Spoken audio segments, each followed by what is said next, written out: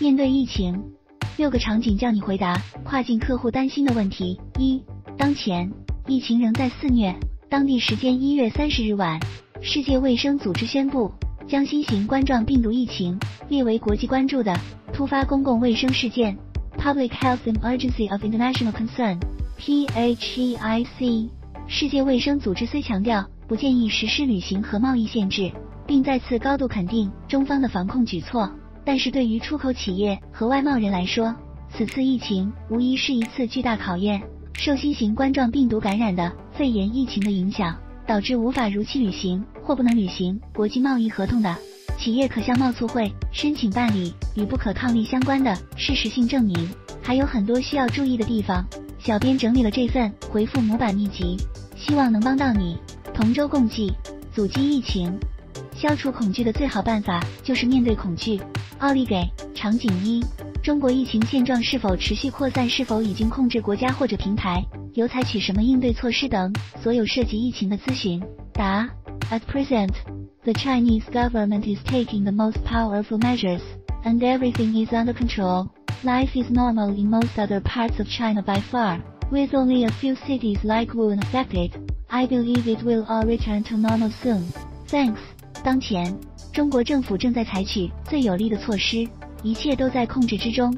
到目前为止，中国大部分地区的生活都是正常的，只有像武汉这样的少数城市受到了影响。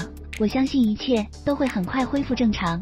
谢谢。场景二，卖家发货确认取消订单，物流纠纷响应延迟。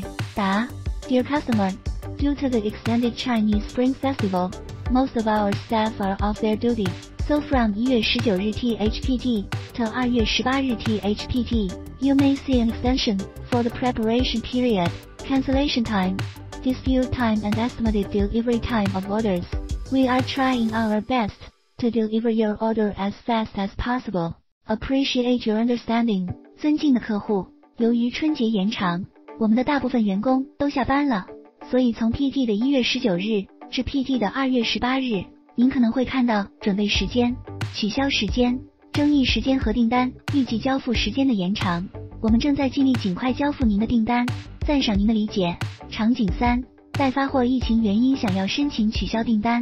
答：Please note that there is no evidence indicating packages or their contents carry any risks of virus. If you do not want to receive the order anymore, you can request to cancel it on order detail page. 请注意。没有证据表明包装或其内容物带有任何病毒风险。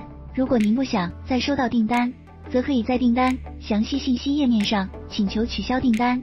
As for the unexpected coronavirus outbreak in China, please refer to the official announcement of WHO and other authorities. And we are paying close attention to the situation and will cooperate with AliExpress platform and relevant authorities. 至于在中国意外的冠状病毒爆发。 请参考世界卫生组织和其他当局的官方公告。我们将密切关注这一情况，并将语速脉通平台和有关当局合作。附近这张图更有说服力。场景四：待收货疫情原因不想要包裹了。答：Please note that the package of the order in transit and it could not be cancelled now. If you do not want it, you may try to return the package before its acceptance. Besides, please kindly be aware. There is no evidence indicating packages or their contents carry any risks.